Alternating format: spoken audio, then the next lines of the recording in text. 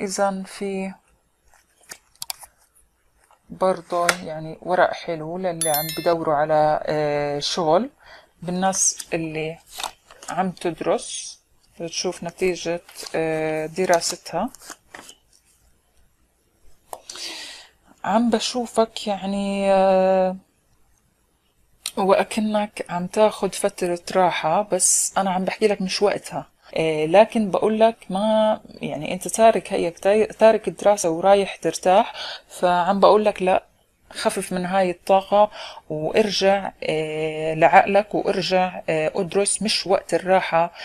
إيه بدك تعتمد أكثر على إيه جهوداتك في إيه الدراسة. وعم بشوفك يعني مبسوط من هاي الناحية من ناحية الدراسة. وكأنك عم تدخل يعني مجال أو دخلت مجال أنت بتحبه أو عن رغبة ف أو بتسعى لتخصص معين لشغلة معينة وعم توصلها في النهاية. لك عم بشوفك. مشاكل بعدين آه، وأكنه في معارضات آه، على آه، السفر. بعدين عم بشوفك لا بتحتفل وعم بيكون في خطوة اللي هي ناحية ف يعني عم بشوف في فرصة منيحة وحلوة لبرج الدلو بالنسبة للسفر. بس كمان على الأكثر يعني تغيير مسكن. مش تغيير شغل لا الشغل بتهيألي ثابت. لكن تغيير آه، ممكن مسكن أو تغيير آه، في في مسافة آه، ممكن تقطعها بهاي الفترة أو رح تسافر حتى ممكن لمنطقة في داخل دولتك للاحتفال بموضوع معين. بس بشوفك عم عم تتعب لحتى توصل لمرحلة آه، السفر. وأكنه في مراحل كتير أنت مريت فيها وعم تمر فيها لكن عم بشوف على خير إن شاء الله وعم بيكون في آه، سفر. خلينا نشوف القراءة العاطفية.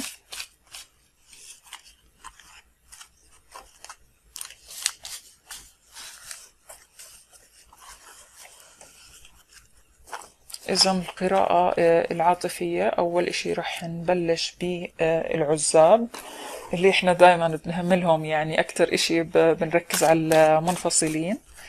آه، فخلينا نشوف للعزاب هل في فرصة آه، جديدة ولا لا. أو في شخص قديم ممكن يظهر أو على حسب. نشوف كيف. إذا بالنسبة للعزاب لبرج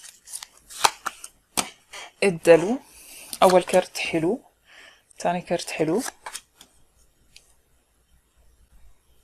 بالطاقة الماضية كنت آه، شاعر بوهم اللي هو وهم السعادة.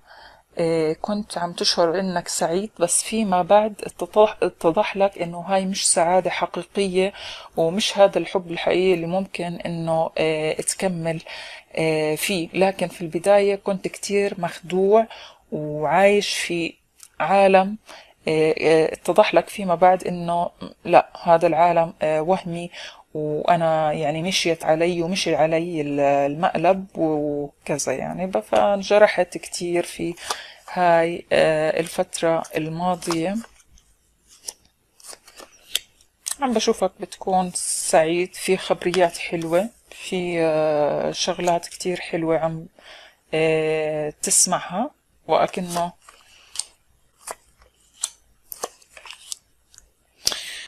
ممكن يكون في شخص ممكن من طرف صديق آه، ممكن صديق مثلا يكون هو الواسطة بينه وبين هذا آه، بينك وبين هذا آه، الشخص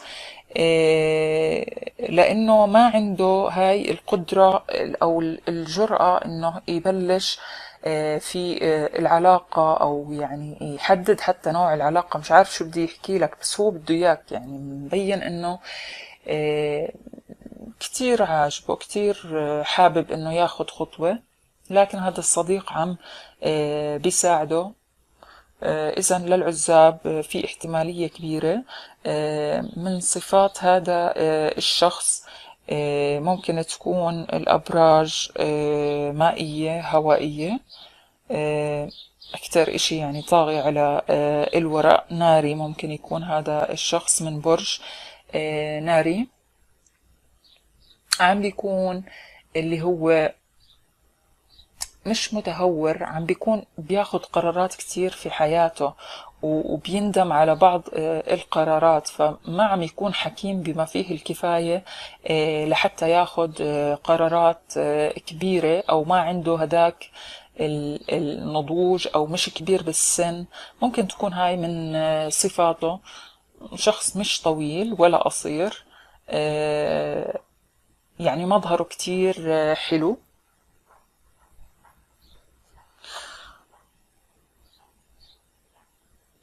لا مبين في شخص آه، بالطريق وممكن يكون في شهر تموز. خلينا نتأكد بس.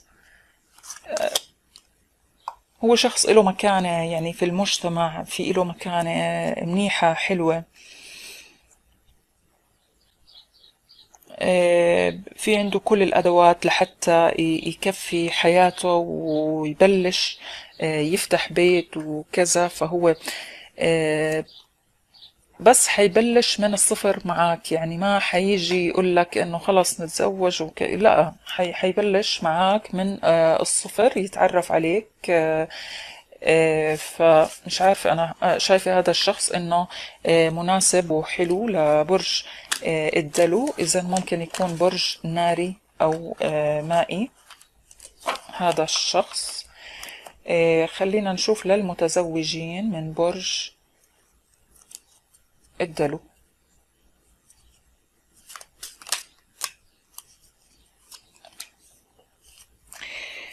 لبرج الدلو للمتزوجين. عم بتكون المرأة من برج الدلو آه، عم تهتم زيادة في عن اللازم آه، في الأولاد وفي البيت على حساب آه، الزوج النساء. فهذا الشيء عم يزعل الطرف الثاني آه، منها وعم بيحاول إنه يوصل لها معلومة آه، إنه خففي شوي اهتمي فيه شوي بس هي كتير عم هذا الشيء ليش عم بيصير؟ لأنه آه، مبين عندي إنه إيش هي تهتم بتفاصيل التفاصيل اللي هو بدها تتقن كل إشي بدها كل شي مثالي مليون في المية. آه، الأولاد بدها تكون بده آه، بدها يكونوا دراستهم كتير واو. يعني بدها كل شي مثالي فهذا الإشي كتير بياخد وقت آه، منها. على حساب إنه تهتم في حالها وفي الطرف الآخر. طبعا هاي كانت الطاقة القديمة. عم بشوفه بيلمح آه، الزوج وأكنه في آه، وأكنه إنه حاب إنه يكون في آه، تغيير بهاي العلاقة وتجديد. في أشخاص عم ينغصوا عليكم حياتكم ممكن. حياتكم الزوجية لكن الزوج عم بيكون كتير قوية شخصيته وما عم يحب يكون في ناس تتدخل فعم بيكون كتير صارم في آه، الموضوع. آه، في حمل ممكن يكون في احتمالية حمل لكن مش كتير آه، كبيرة ستين بالمية للناس المتزوجين اللي عم ينتظروا حمل. في حمل بس شهر تموز ستين بالمية. بعد شهر تموز ممكن تعلى هاي النسبة لأنه في طفل في رضيع يعني في آه، في القراءة آه، لكن هو مش جنين يعني هو رضيع. فممكن يكون آه، في بعد شهر تموز بالنسبة ل المرتبطين المش متزوجين. واللي مش تاركين مش منفصلين. اللي هما مع بعض وعلى حب وعلى علاقة متواصلين. فخلينا نشوف إيش نوايا الحبيب نوايا الشريك.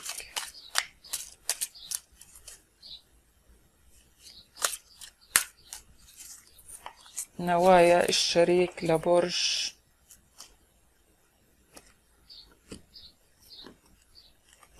الدلو إذن.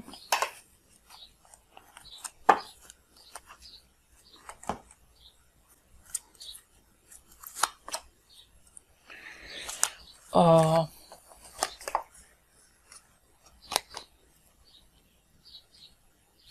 نوايا الشريك يعني في ضبابية بهذا الكرت شوي. آه ضبابية يعني وكأنه مش واضحة عنده آه الأمور لسه ما اتضحت. آه هو ضايع بين قرارين أو أنت ممكن تكون العلاقة آه القراءة عكسية. ففي عم عم بختار شخص من تنين. في إمكانية تكون علاقة ثلاثية يكون موجود لكن ضعيفة. وكأنه ما إلها أهمية.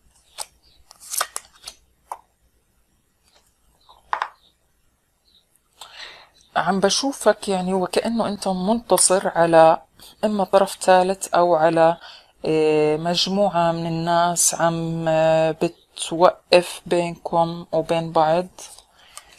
إيه، هل في زواج مثلا؟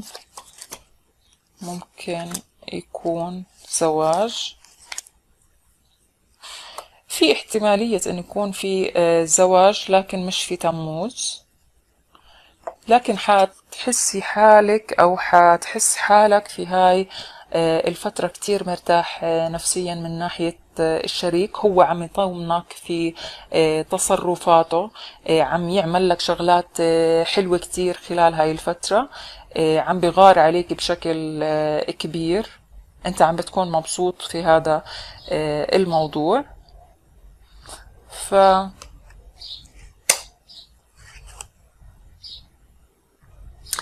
إيه هذا الشخص كمان يعني رح ياخد القرار وهو عم يدرس الموضوع بأكثر من طريقة فهو بطيء في اتخاذ القرارات لكن أنا شايفة إيه بوادر خير يعني لحديت الآن يعني شغلة شغلات حلوة عم تطلع.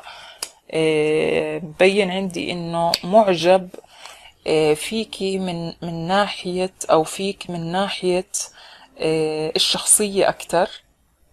شخصيتك عم تعجبه أو عم يحس إنك أنت عم تكملي له آه، شخصيته عم بتكونوا متكاملين. هو هيك عم بحس؟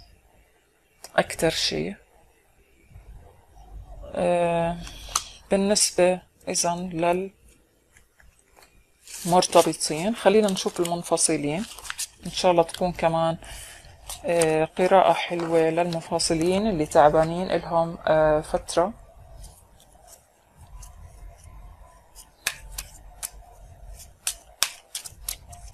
إذا للمنفصلين أو المطلقين.